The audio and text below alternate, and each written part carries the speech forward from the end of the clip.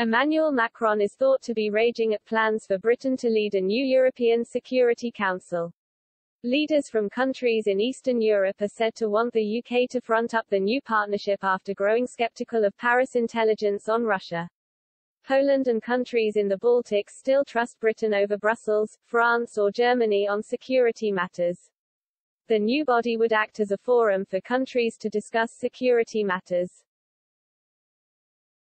It would also help ensure allies are united in combating common enemies after mixed messages have been sent over fears of Russia launching an incursion on Ukraine.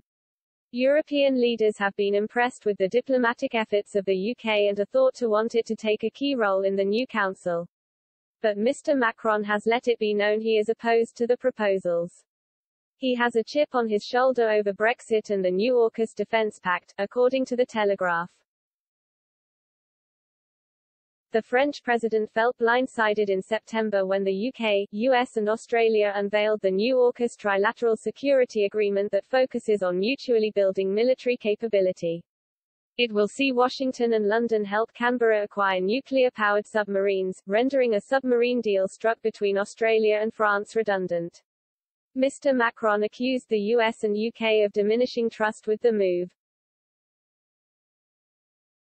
With Russia amassing more than 100,000 troops on the border of Ukraine and fears of an imminent invasion, the president has sought to take a leading role in de-escalating tensions. Last week he traveled to Moscow for five hours of talks with Vladimir Putin. France has claimed it is unlikely Russia is actually preparing for a conflict. However, British intelligence concurs with evidence from America that President Putin is preparing for imminent action. A Downing Street spokeswoman said last night, the crisis on Ukraine's border has reached a critical juncture. All the information we have suggests Russia could be planning an invasion of Ukraine at any moment. This would have disastrous consequences for both Ukraine and Russia. There is still a window of opportunity for de-escalation and diplomacy, and the Prime Minister will continue to work tirelessly alongside our allies to get Russia to step back from the brink.